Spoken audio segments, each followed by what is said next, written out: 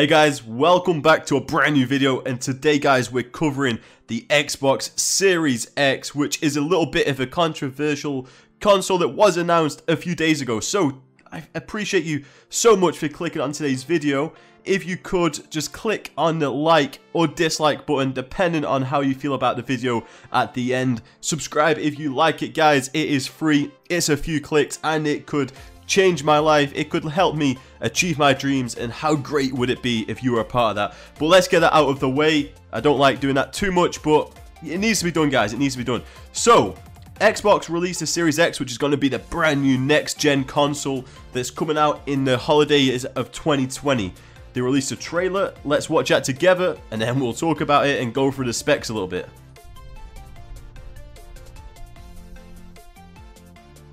Okay, I can't go full screen mode, but it's okay.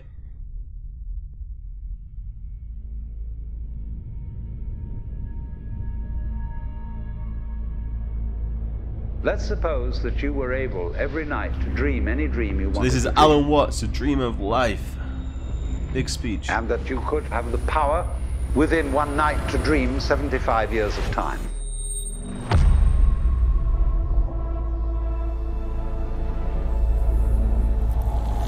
Okay, so it's going over, making, as you making the graphics looking that beautiful 4K, baby, you know what I'm saying? Wishes. But now let's. I mean, um, it's easily let's have a surprise. Let's have a dream which isn't under control. And then you would get more and more. It's crazy. I remember the PS1. And you would make it's actually like legit gambles as I mean, to what you would dream. Well, I'm guessing might be Pez with that. And finally, you would dream Halo. where you are now. Woo! And above the water, iconic as well. I mean, as we can see, it's a cube.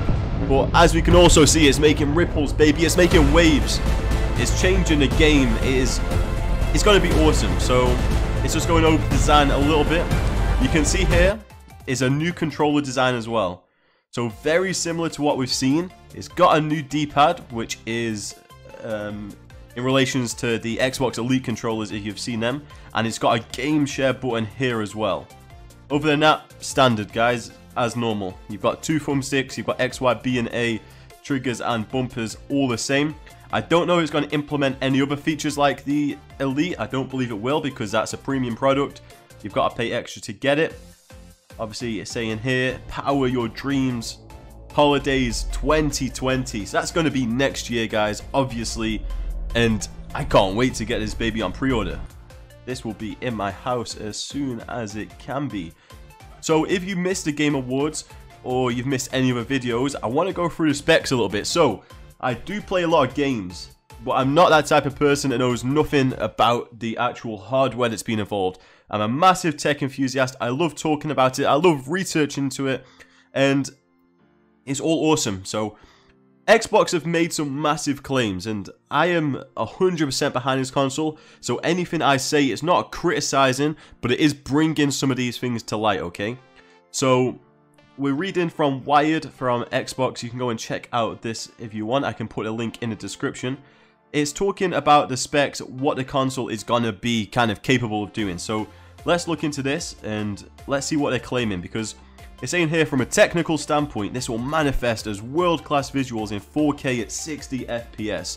So, getting a bit technical, the Xbox One X, which is a console I've got, which is Xbox's first like 4K console, it did play some games, I believe like Forza at true 4K, but other than that it was checkerboard rendering where the middle of your screen is going to be a kind of a 4K quality but towards the edges it's actually going to go to a low quality. It's not going to work on it as much because it's not really what you're looking at. But guys the Xbox X has 6 teraflops of power in GPU performance. So you don't need to understand that too much besides just know the Xbox Series X has 12 teraflops.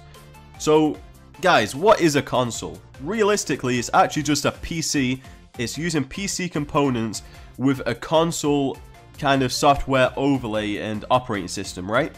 So internals are going to be very close in relation to, count to PC counterparts, but we're going to have limitations like laptops do.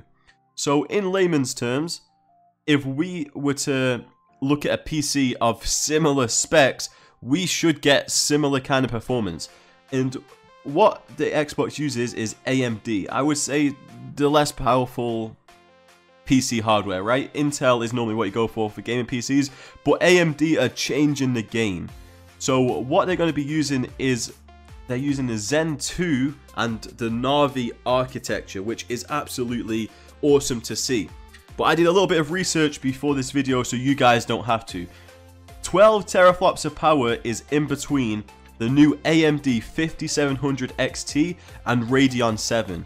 Looking at specs, the Xbox One X should definitely be able to play X 4K 60 FPS. I'm not I'm not afraid of that. So 12 teraflops puts you in about the 1080 Ti performance range, just lower than a Radeon 7 for AMD.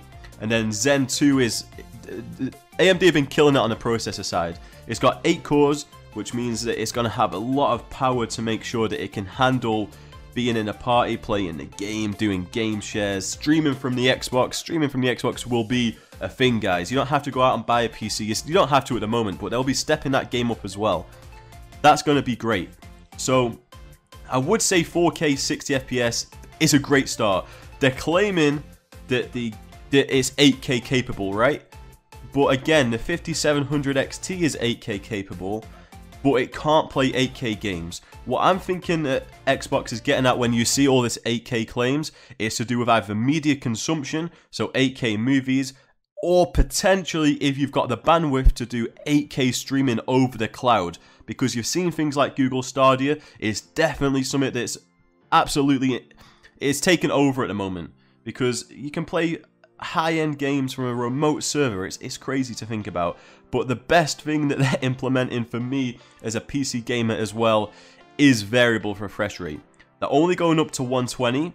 I, that's doable, it's fine. I mean, 144 is nice, 240 is even better, but we know it's not capable of doing that, right? So I appreciate the doing variable refresh rate. It's going to make FPS feel a lot better for games like Fortnite, for games like Apex, for games like Call of Duty, all of that is going to feel a lot smoother. The 8K capability, like I said, is it's a pipe dream, but there's ways they can definitely implement it to make sure they're not falsely selling it. So they say here they're using the latest Zen 2 and next generation RDNA architecture from AMD. They're also going to be having ray tracing, so that's something that you might have seen on YouTube. You can go and look at all of this way more in depth with people like Linus Tech Tips, so that's where I get a lot of information from. But like I said, I do enjoy researching it myself. But ray tracing here is essentially, hmm, how's the best way to word it? Imagine being in a game and there's a mirror, right? And say an enemy runs behind you, you'll actually be able to see them run through the mirror. So it's like real-time reflections, all that kind of stuff, lighting. It does take up more power, so it's a bit questionable. We don't need it, but for single player games, it will look awesome. It won't always be implemented, implemented and it can turn it off. So that's that's no problem there. I mean, that's what I'm hoping because I will happily play 4K 60 FPS for campaign, but I'm hoping that the Xbox Series X has more PC-like features if it's going to go straight down that route. I want to be able to change graphical settings to hit 120 if I want to, FOV sliders, all that kind of stuff. Just a little bit more implementation, which makes me feel like I'm not as tied down as I am with a console, I, like I feel with the Xbox One X. That's why I like going on PC. I mean, my PC, I've got an RTX 2080 and i9 9900K. I can smash most games, but games like Counter-Strike, I still play on the lower settings because there is benefits to it. So they're gonna have here's some stuff talking about the low latency. So ALLM, auto low latency mode, and dynamic latency input. This is stuff that's been around for the longest times.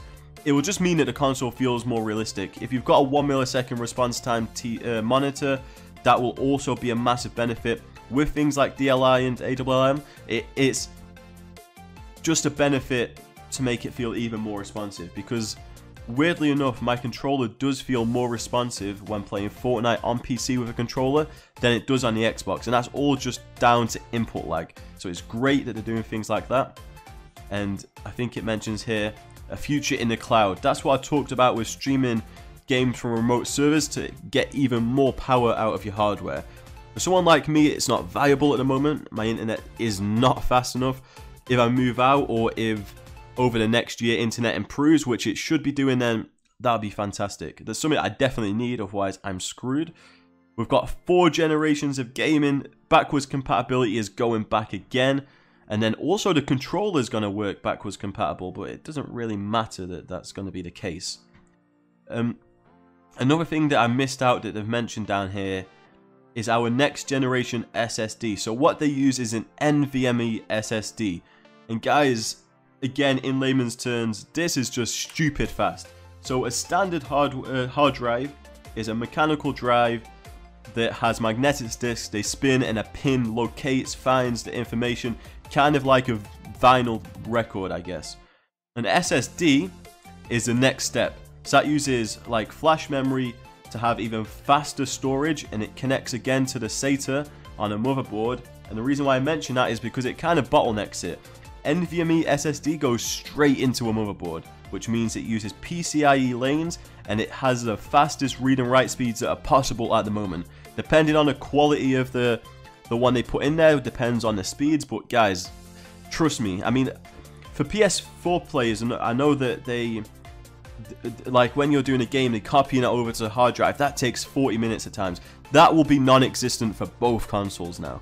And also, I think even like you can get bottlenecked, I guess, by your internet speed sometimes because it will be able to download the games faster too because it will be reading to the to the hard drive a lot faster. Obviously, you're still gonna be like subjected to your internet speed, but it is is crazy. And then let's just talk about this design because as you can see, is a big box, right? From what I've read, it can go vertical or it can go horizontal. That's no problem. But realistically, why would you want to put a six? Because I think the price of this is going to be about five to six hundred pounds. Why would you put that into a small ass console? Because you're just going to end up. It's going to ruin like your, the longevity. I mean, it doesn't look great. We get it, but realistically, we want something that is going to be sustainable for a long time. Something that we don't have to worry about it overheating, burning out. It's going to have to go into a larger chassis no matter what. You've seen how big PC cases are, and this is still tiny. If the PS5 do it smaller with the same power and the same thermals, then hats off to them. But I can guarantee that there's compromises along the way. If they go to a smaller size, if they go if they go to something smaller, they're gonna have to pull back on thermals, which means they're gonna have to pull back on performance. Otherwise, it's gonna perform overheating and then I can guarantee that after three years you're to be replacing the PS5 because all of the parts are to be burnt out. Obviously not literally, but it's just to overheat all the time. You're to have other fans on it, you're to have to put a fan underneath it and then that's to add an extra few millimeters of height, all that kind of stuff. So trust me when I say it's not the right way to go. The size, it doesn't look great. Maybe they could have made it look a little bit fancier.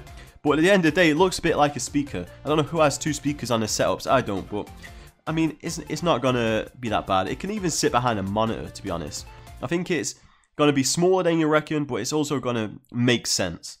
Well, guys, I think the Series X is very interesting. We're going to keep tracking it along the channel. I want to diversify my content because when I sub subject myself to one game, it really limits kind of my creative thought, my passion to even play the game at times because Modern Warfare hasn't been great at the moment. We all know that. But let me know what you think of the Series X in the comment. Let me know if you're PS5 or Xbox. And guys, I promise you, if I'm at 10k subs plus next year, I'll be giving one away for sure. So we'll see what happens there. But guys, if you liked, leave a like, comment, subscribe, like I mentioned earlier in the video, and I'll see you all in the next